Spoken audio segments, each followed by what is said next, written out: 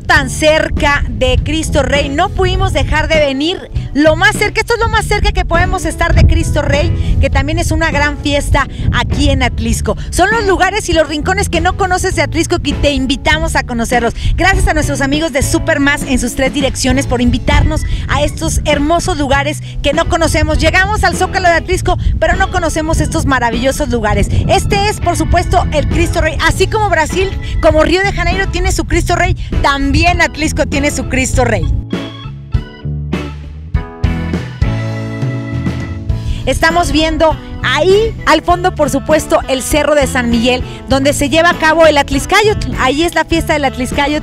Y bueno, pues aquí estaría el aquí veríamos al Popo de este lado, pero bueno, con las nubes no nos dejan ver hoy al Popo Catepet, pero lo saludamos por supuesto. En estos rincones mágicos de Atlisco, gracias a Supermás por traernos a este lugar. En este momento nos vamos a la fábrica de alfeñiques. ¿Quieres saber qué es esto? Bueno, pues acompáñanos aquí en Atlisco. Está Supermás apoyando, por supuesto, las manos artesanas las manos que trabajan y las manos que hacen cosas maravillosas. Acompáñenme.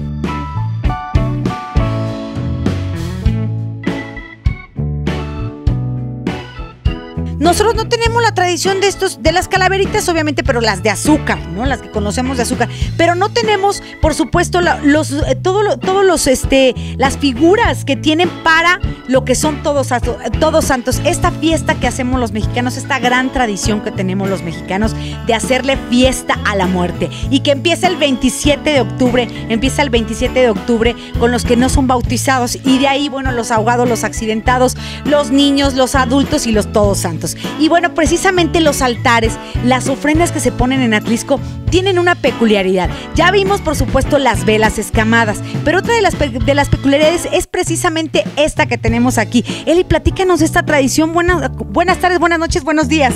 ¿Cómo están? Gracias por recibirnos. Hola, buenas tardes, noches. Mira, me da mucho gusto que estés acá en mi hogar y te des cuenta de las manualidades que hacemos, lo tradicional que es acá la, lo que es octubre. Eh, como ya sabes, eh, son dulces que se les dona a nuestros muertos.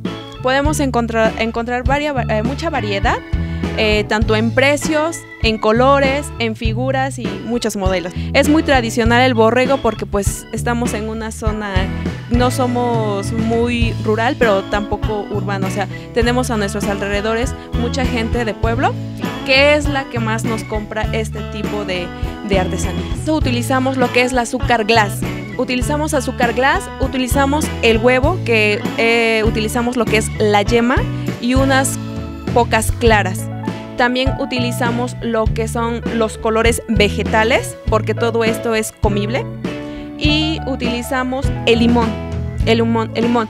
El azúcar glass se mezcla con un tipo de grenetina, tipo como a la goma, a lo a cómo hacen la gomita, que comemos la de dulce, y se mezcla con limón. Es un azúcar que la masa se va mezclando. No, hombre, estoy viendo el burrito, hasta sus cervezas lleva.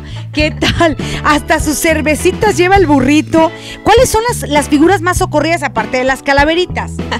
pues como bien lo dices, las figuras de en los niños, ¿no? Si te das cuenta, mía, podemos encontrar desde un elefante, una cochinita, un pollo, unos payasitos, los muy conocidos burritos llenos de, si te das cuenta, o sea, vienen con Dije, tienen hasta su cerveza, que ustedes no lo crean. Mira, mi querido Lalo, tómale porque de verdad tiene hasta su cervecita el burrito.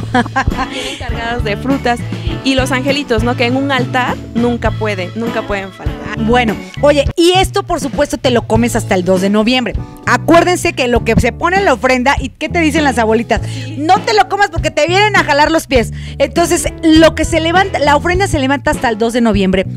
Y entonces ese día ya nos podemos comer todas estas delicias. Eli, muchas gracias. Muchas gracias por permitirnos estar acá, por este compartir con tu familia cómo elaboran estos alfeñiques, todas estas figuras hermosas que tienen, bueno, pues por supuesto su gracia y ese toque artesanal y ese toque que ustedes le han dado de generación en generación. Muchas gracias por recibirnos aquí en esta casa de Atlisco, el centro de Atlisco, donde se hacen los alfeñiques. La familia López Luna hoy nos recibió y nos enseñaron a hacer estos, estos que son los alfeñiques y que se ponen en los altares y en las ofrendas en este mes de octubre y en todo lo que son las fiestas de Todos Santos.